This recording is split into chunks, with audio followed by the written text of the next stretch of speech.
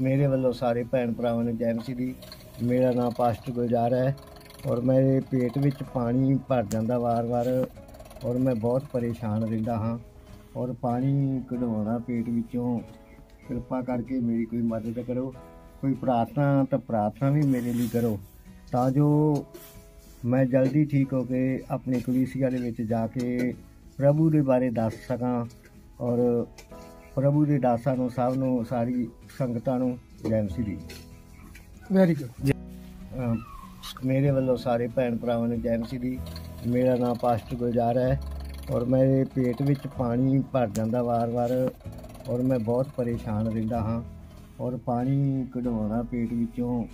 ਕਿਰਪਾ ਕਰਕੇ ਮੇਰੀ ਕੋਈ ਮਦਦ ਕਰੋ ਕੋਈ ਪ੍ਰਾਰਥਨਾ ਤਾਂ ਪ੍ਰਾਰਥਨਾ ਵੀ ਮੇਰੇ ਲਈ ਕਰੋ। ਤਾਂ ਜੋ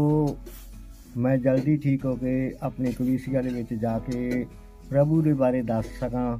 ਔਰ ਪ੍ਰਭੂ ਦੇ ਦਾਸਾਂ ਨੂੰ, ਸਭ ਨੂੰ, ਸਾਰੀ ਸੰਗਤਾਂ ਨੂੰ ਜੈ ਮਸੀਹ ਦੀ ਵੈਰੀ ਗੁੱਡ